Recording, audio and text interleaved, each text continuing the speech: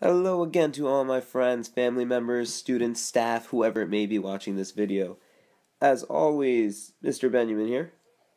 Happy, alive, and kicking. Not complaining about anything. Just happy to be alive. Unfortunately, though, I am solo today because my friends, my co-workers, Ms. Podlipsky and Ms. Terrio aren't here with me right now. I'm actually making this video. It's well after school time, but we're not going to worry about it. We're still going to have some fun. This will be our third video, probability 3 in this series, and this is actually looking at percents and how to calculate percent from probability. So, we recall from yesterday's video or last lesson, whichever you're thinking about, the probability of an event. We can always show this as a calculation in an equation, and it's known as the number of successful outcomes over the total number of possible outcomes.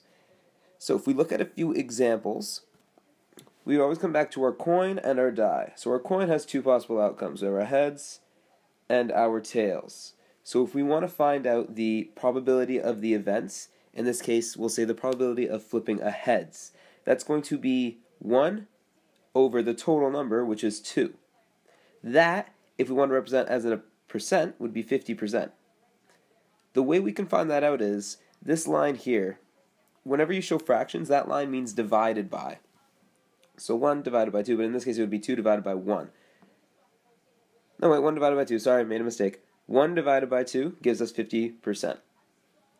So 1 divided by 2 equals 50%. If we look at our die, our die is a cube with 6 sides. Because it has 6 sides, that means there's 6 possible outcomes. And if we were looking at the probability of rolling a 4, for example, probabil, ah, that's horrible, prob, ah, ability, ah, I'm going to erase that and write it again. But anyways, if we were looking at writing the probability, or we wanted to find out the probability of rolling a 4, that would be 1 out of 6. It's the same as saying 1 divided by 6, which is approximately 16% if we want to know the probability of rolling a even number. Prob of even number. Since the die has numbers 2, 4, and 6, that would be 3 over 6. And 3 divided by 6 equals 50%. So I'm going to give you some examples. It's going to be a shorter video, I should have mentioned earlier, but do a couple of examples. First, show me the probability of landing on a hmm, landing on a white square if this was a spinner. So if I had a little arrow here and you could flick it and spin it, what's the probability of landing on a white square? Let's do another example here.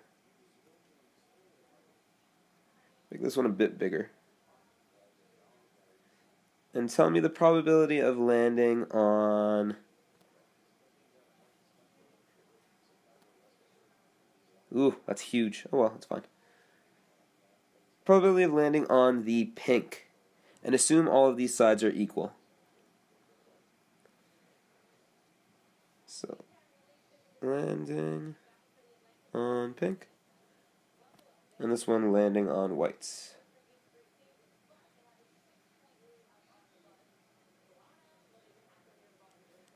And as always, we have to have a little spinner in here. Two more. Two more examples. Or two more try this.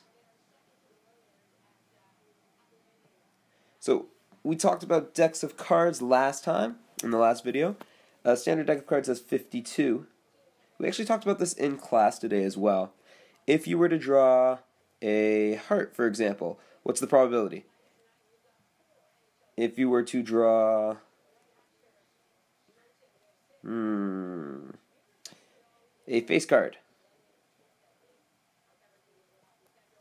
And last one, if you were to draw, no, let's stick with red. 52 cards. If you were to draw anything from 3 to 7. Any one of those. And for all of these, I want the probability of drawing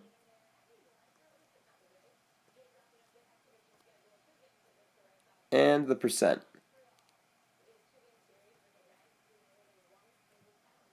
Alrighty, that's it for this video. Like I said, it's really quick. And we are always happy to have you. And we're going to say thank you. Smiley face. Alright, see everyone tomorrow.